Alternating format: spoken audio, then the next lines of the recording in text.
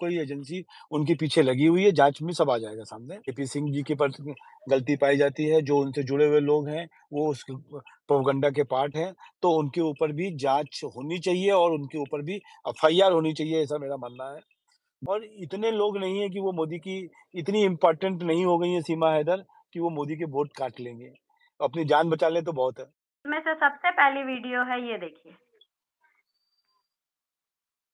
बहुत छोटी-छोटी वीडियोज़ हैं।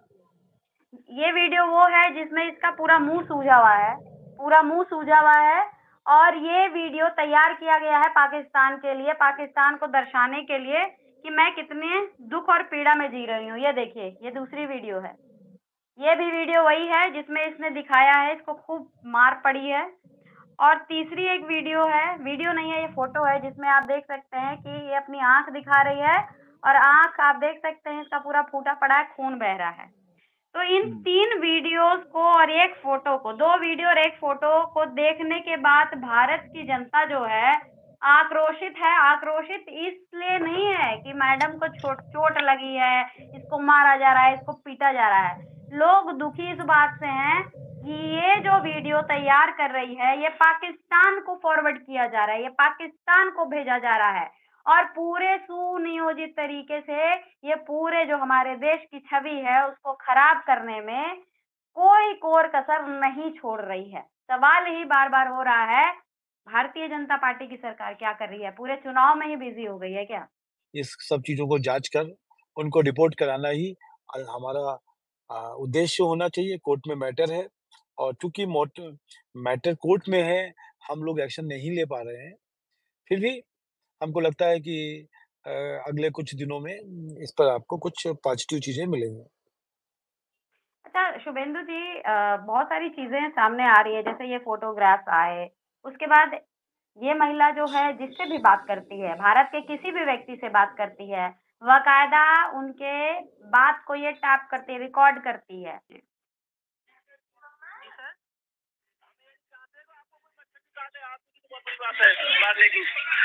थैंक यू सर मैं बात। करती हूँ वकील साहब से हाँ वकील साहब से बात कर लेना और आज हमें चाहते आपको कोई मच्छर भी काटे आप भी किसी बड़ी बात है बात है की थैंक यू सर मैं बात करती हूँ वकील साहब से हाँ वकील साहब से बात कर लेना और राजवतन से बात कर लेना ठीक है राजवतन का नंबर ले निकाल दो आपको कतई नहीं आना उनके साथ में ठीक है अ, जो उनका घर का नंबर नहीं है ओनली वकील साहब का नंबर है और एस एस साहब से बात हुई थी मेरी उन्हीं का नंबर है नहीं जो राष्ट्रीय अध्यक्ष है उसके महाराणा प्रताप के? जी जी उनका नंबर नहीं है मेरे पास वकील साहब के पास ही होगा। वो आए थे हमसे मिलने के लिए आए थे एक बार। उसके बाद नंबर हाँ उनका नंबर नहीं है। वो भी जो हनुमान चालीसा बांटा था मैंने हाँ हाँ। तब आए थे वो सत्रह को। हाँ सत्रह को आए तो आपने नंबर नहीं ले पाई उनका?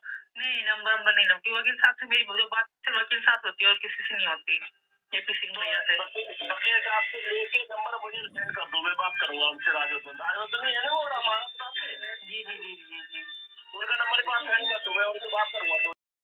उनका जो चोट लगी है इसका क्या कारण है?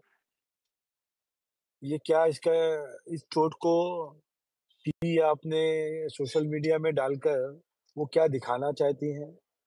जी। और तीसरा, यदि वो ये दिखाना चाहते हैं कि उनको भारत में बहुत कष्ट मिल रहा है, भाई चोट तो अभी की है या हो सकता है पुरानी चोटें हों, जिसको उन्होंने फ़ोटो स्टॉक करके रखी हो, ये पक्ष नहीं लेना चाहता ख़ासकर सीमा हैदर का तो बिल्कुल नहीं लेना चाहता हूँ। पर मैं यही कहूँगा कि कोई ना कोई प्रोपोगंडा वो करना चाहती हैं, चाहे हिंदुस्तान में, चाहे पाकिस्तान में। प्रोपोगंडा पार्ट हो सकता है और अनफॉर्चुनेटली या फॉर्चुनेटली मैटर कोर्ट के सामने है। कोर्ट ने अ अ, उनको दी हुई है और मैटर सब जुडिस है। मैं पुलिस और उनको कोर्ट को दोनों को अनुरोध करता हूँ कि वो स्पीडीली क इस पे एक्शन लेके और उनको डिपोर्ट करें। भारत में कोई बिना नागरिकता लिए हुए चोरी-छुपे इस तरीके से आतंकवादी तरीके से एंटर करना अवैध है और हुँ। असंवैधानिक है और उस उसपे ए इस तरीके की बात करना कि हम सनातन हैं, हम ये हैं, वो हैं, हम ये करेंगे, हमने शादी कर ली है। वो सब चीज़ें बाद में होती हैं, पहले सबसे पहले है कि आप भारत की नागरिकता आपके पास नहीं है और आप एक एक शरणार्थी के रूप में नहीं आई हैं। शरणार्थी के जो आते हैं वो पहले इन्फॉर्म करते हैं बॉर्डर के ऊपर। और जो। तरीका है, कानून है हमारे भारत का कि कोई भी भारत की नागरिकता ले सकता है, पर वो पहले अप्लाई करेगा। ये नहीं है कि चोरी-छुपे आप आ जाओ और फिर कहो हमको नागरिकता दे दो, तो वो चलेगा नहीं। इसीलिए कानूनों की बात जो कानून वाले लोग ज़्यादा अच्छी समझते हैं, पर मेरे को लगता है जब आपने पिछली बार हमसे बात किया था, तो हमने कंसर्न अथॉरिटी से बात किया था, तो उन्होंने यही कहा है कि एक डेढ़ महीने के अंदर जो जजमेंट्स को जज की ओर से क्लियरिटी आने के बाद इनको रिपोर्ट करना चाहिए। ऐसा उद्देश्य है, ऐसा प्रोसेस है। हम अ, कोई भी मैटर जो कोर्ट के अंदर है, उससे ऊपर कोई भी नहीं है, इसलिए वेटिंग हो रही है कोर्ट से डिसीज़न आने की। दोबारा आने का चांसेस मिलेगा और ये मैटर और लंबा खिंच जाएगा। इस मैटर को कन्क्लूड करने के लिए अच्छा यही है कि इनके ऊपर कोर्ट से जे ऑर्डर लेके इनको भारत से डिपोर्ट किया जाए और अपने कंट्री में भेजा जाए।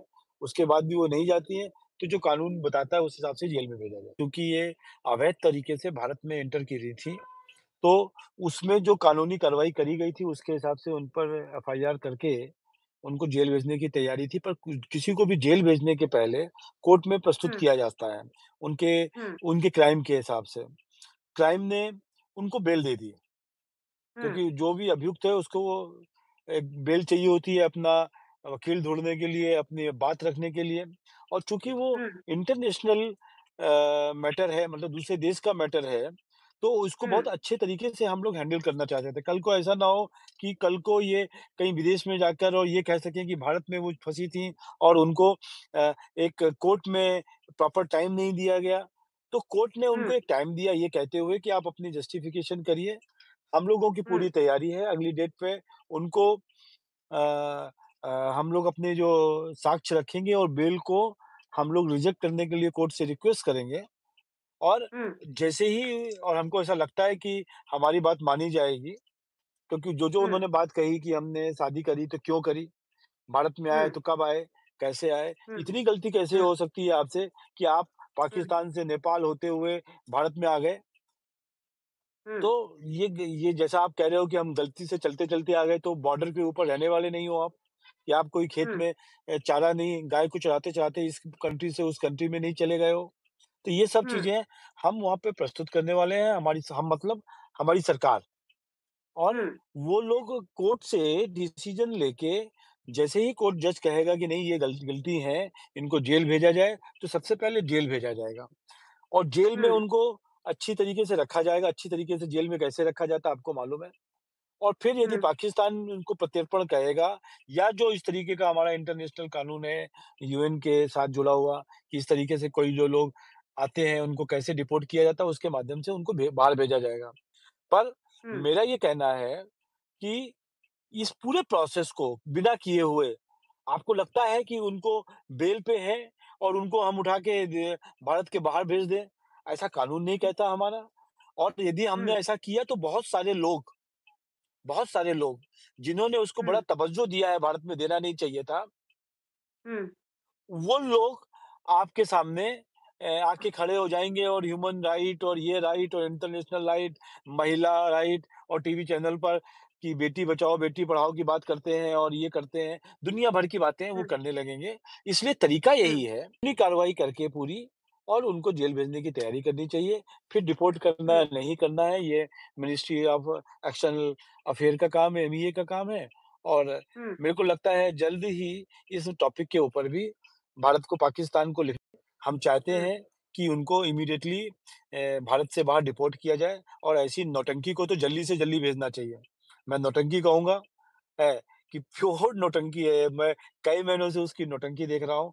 फिर भी वो कानूनी जैसे मैं आपको कह रहा था कि कसाब के केस में कसाब के केस में भी पूरी पूरा केस चलाया गया और उसके बाद सुप्रीम कोर्ट ने ऑर्डर दिया उनको कि उनको फांसी देनी चाहिए।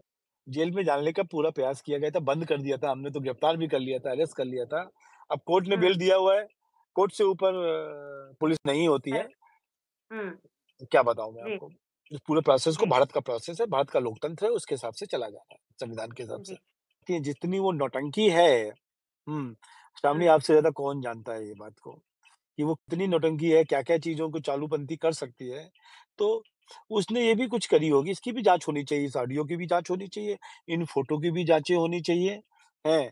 और अ, अ, मैं ये कहूँगा कि आप मेरे को भेजिए, मेरे ट्वीट पे भेजिए, मैं उसको आगे योगी जी को भी भेजूँगा और प्रोसेस को जो फ़ास्ट करने की कोशिश हो सकती है, वो ज़रूर करेंगे। इतने प्रूफ़ हैं इतने प्रूफ़ हैं, टॉन्स ऑफ़ द प्रूफ़ है एक बात करेगी तो वो ईडी दूसरी बात निकाल देगी, दूसरी बात में करेगी तो तीसरी में फंसेगा वो।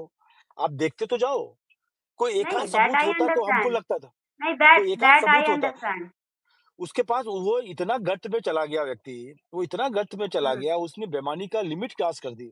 आपने तो दुनिया भर की उसके नौटंकी देखी है उनकी, जो गलत है उसको गलत कहेंगे, जो सही है उसको सही करेंगे और यदि गलत है और हम जो मदद कर सकते होंगे, वो ज़रूर करेंगे, ये मेरा विचार है। कोई एजेंसी उनके पीछे लगी हुई है, जाँच में सब आ जाएगा सामने और इतने लोग नहीं है कि वो मोदी की इतनी इम्पोर्टेंट नहीं हो गई है सीमा हैदर कि वो मोदी के वोट काट लेंगे। अपनी जान बचा लें तो बहुत है। जेपी सिंह जी के प्रति गलती पाई जाती है, जो उनसे जुड़े हुए लोग हैं, वो उस प के पार्ट हैं, तो उनके ऊपर भी जाँच होनी चाहिए और उनके ऊपर भी एफआईआर होनी चाहिए, ऐसा मेरा मानना है। दूसरी चीज़, उनका चैनल बंद होना चाहिए, जो यूट्यूब चैनल से उनको पब्लिसिटी मिल रही है।